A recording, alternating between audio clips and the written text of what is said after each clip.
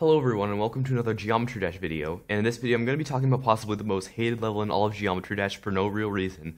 We are of course talking about Buff This by Boy of the Cones. So this video will be sort of like a rant, but I'll be reviewing the level and talking about why this level got so much hate. And I'm aware Sea1997 made a video on the same topic, but I'm not stealing for him, or at least not trying to. Also, all gameplay is by Boy of the Cones himself, so let's get started. Might as well make a series called Tracks from Hell, because this is going to lock you up in a cell. So you might be wondering, why does Buff This exist in the first place? What motivated Boy of the Cones to make this level?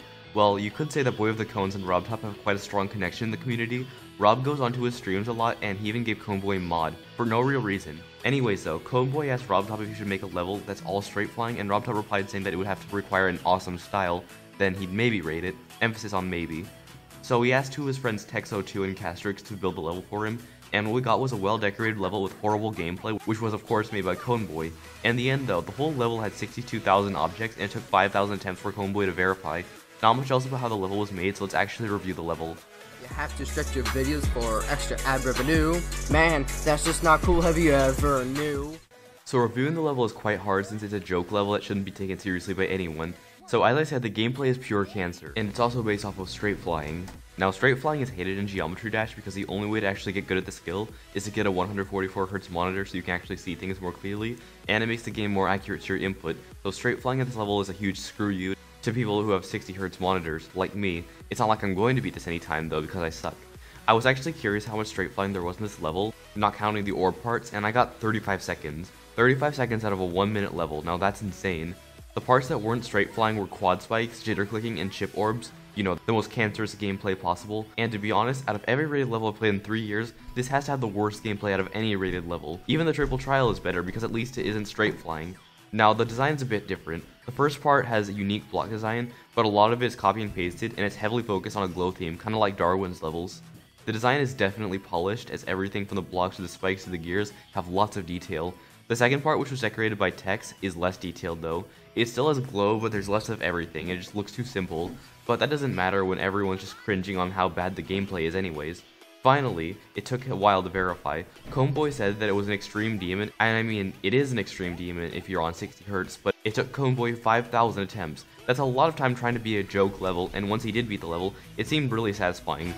Yes! Yes! Personally, I think that was an overreaction, but I'm not sure. So overall, there was effort put into the level. Coneboy didn't decorate it, but that doesn't mean his friends Castrix and Tex didn't put effort into the level, and it also took a long time for Coneboy to verify. Sea1997, your content's really bad. I don't know why you're relevant, you're honestly just a fad. The main reason why this level got hate is simple, because it was made and verified by Boy of the Cones.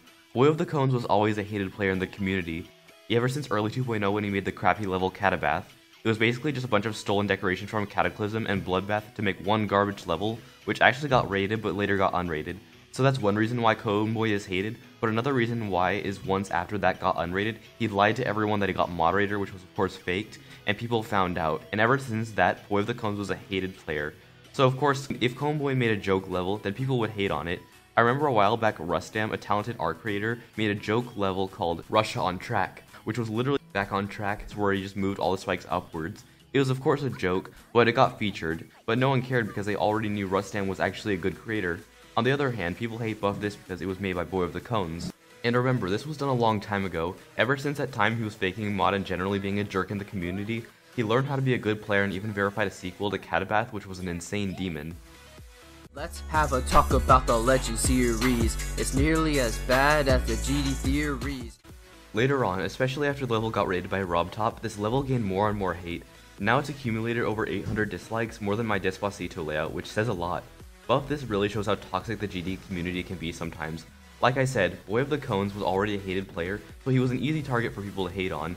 And when people saw the haters of Boy of the Cones and a bunch of mindless idiots started hating as well, giving Coneboy death threats. A few people even threatened to quit GD if this wasn't rated, including Luqualizer, who is the best 60Hz player, but it got rated and he hasn't quit. So I don't really know what's going on with that. People went out of their way to hate on Buff This by hating on the creators, Texo2 and Castrix, which is completely ridiculous. Literally all they did was do a thorough job on decorating Coneboy's level, nothing else. So people are literally hating on the level for no reason just to join the bandwagon. All of Coneboy's haters are just kids that are just like, Oh my god, buff this got raided. Go kill yourself, Coneboy. And it's really freaking stupid. People are also arguing over the fact that there are a lot of unknown creators who deserve their levels to be rated, which to some extent is true. There are a lot of unknown creators out there, but for the most part, I think the unknown creators argument doesn't apply to buff this, because this problem is definitely becoming less serious. There are lots of active mods out there that scout unknown levels and send them to RobTop. If you really want your level to get featured, I have two words for you. Get good. The last thing I want to talk about was this comment. Emphasis on this this getting a raid is the equivalent of a straight fly challenge level getting featured, which to some extent it is a one minute straight fly challenge disguised as a level thanks to his friends. But again, just remember, this level is a joke. Let's all admit, my bars are pretty litty, and that's because of the fact that England is my city! In conclusion, is Buff this a bad level? Yes, it is pure garbage, but at the end of the day, it took a lot of effort for his friends to decorate and Coneboy to verify, all he got from that was one creator point anyways, yet people are still making a big deal out of it because they see Coneboy as an easy target. He isn't liked enough by the community to make a joke level like Buff this. Also, there's a good chance that Coneboy may see this video, so Boy of the Cones, if you're watching this, I feel really bad for you. You don't deserve any of this hate, and neither do your friends who decorated it. Yes, the level may suck, and yes, you may have done some stuff like fake mod status, but that doesn't mean that an army of kids should attack you in the video and give you death threats and basically be the most toxic we've ever seen in the community. Just stop this pointless drama and we won't have to worry about something actually serious happening, like what we saw with Triaxis back in early 2.0. Anyway, so I hope you've enjoyed this review slash rant video. If you have enjoyed, make sure to leave a like, and as always, this is GD Flaaroni signing out.